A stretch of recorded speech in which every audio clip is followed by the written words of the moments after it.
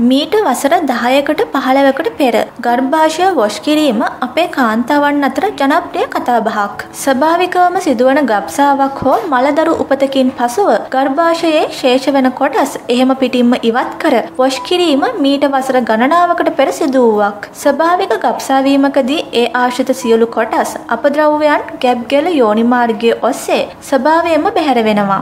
වෛද්‍ය විද්‍යාවේ දියුණුවත් සමග අද ඒ සඳහා භාවිතා කරන්නේ නවීනතම උත්තම ක්‍රමවේදයන්.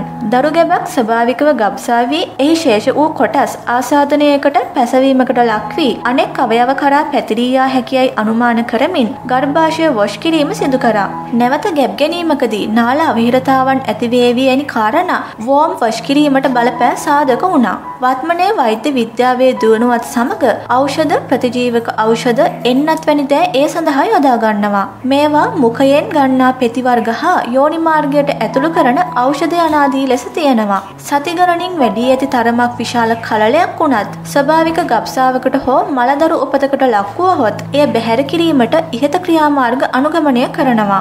ගර්භාෂය තුළ ඇති පටකවල වාර්තාවක් ලබා ගැනීමට වෝම් වොෂ් කිරීම විද්‍යාත්මක පසුබිම වන අතර නිර්වින්දන ක්‍රමවේදයක් ඔස්සේ ඒ සිදු කරනවා. මෙහිදී යෝනි මාර්ගය හරහා ගැබ්ගල විවර කර ගැනීමට සියුම් තුනි උපකරණයක් යවන අතර එය ගැබ්ගලහිදී තරමක් විශාල වී ගර්භාෂයට ඇතුළු වෙනවා. ගර්භාෂයේ ඇති වෙනස්කම් හා අසාමාන්‍ය තත්ත්වයන් මෙම උපකරණය ඔස්සේ පරීක්ෂා කරනවා. වැකියුම් එකක ආධාරයෙන් වොෂ් කිරීමෙන් පසු ගර්භාෂය නැවත යථා තත්ත්වයට පත්වෙනවා. ඉන්පසු පහසුවෙන් හා බාධාවකින් තොරව නැවත ගැබ්ගත හැකියයි බොහෝ දෙනා සිතනවා වගේම එය සත්‍යයක් වන අවස්ථාද දකින්න පුළුවන්. නමුත් නැවත ගැබ් ගැනීමක් කරා යෑමට පෙර නාඩි හා ප්‍රසව විශේෂඥ වෛද්‍ය උපදෙස් ලබා ගැනීමයි අතිශය වැදගත්. අධික රුධිර වහනයක් සිදුවන අවස්ථා ශ්‍රාවයන් බැහැරවන අවස්ථාවලදී ගර්භාෂය පටක වාර්තා පරීක්ෂා කරමින් රෝග විනිශ්චය කරා එළඹෙන්නට සිදුවෙනවා. ආර්ථව හරණයෙන් පසු කාන්තාවන් වයස්ගත වීමත් සමගින්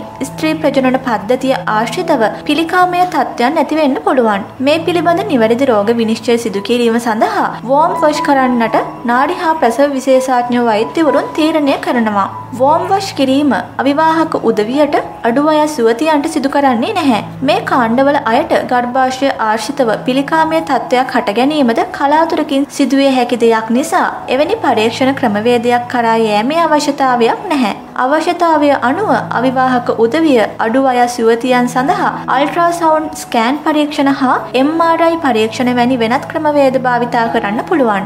එන්ඩ්‍රොමෙට්‍රියම හෙවත් ගර්භාෂ බිත්තිය ආශ්‍රිතව හටගන්නා පිළිකාවලදී වෝම් වෂ් කිරීම මගින් ගන්නා පටකවලින් බොහොමයක් තතු අනාවරණය කරගන්න පුළුවන්. ගර්භාෂයේ පටක පිළිබඳ සායනික තොරතුරු අනාවරණය කර ගැනීම සඳහා වෝම් වෂ් කිරීමේ ක්‍රමවේදය සිදු කළත් දැන් බොහෝ විට ඒ පිළිබඳ කරුණු අනාවරණය කර ගැනීමටත් අල්ට්‍රාසවුන්් ස්කෑන් පරීක්ෂාව වැඩි වශයෙන් යොදා ගැනීමට වෛද්‍යවරුන් තීරණය කරලා තියෙනවා.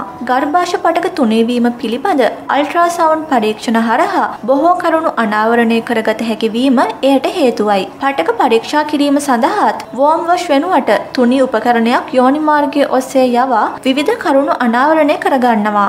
නීති විරෝධී ලෙස ගබ්සාවන් සිදු කරන ස්ථානවල ඇතැම් විට ගබ්සාවත් සමගින් වෝම් වොෂ් කරන අතර මුදල් හම්බ කර ගැනීමේ චේතනාවෙන් මේ සිදුවන ආකාරයක් දකින්න පුළුවන්.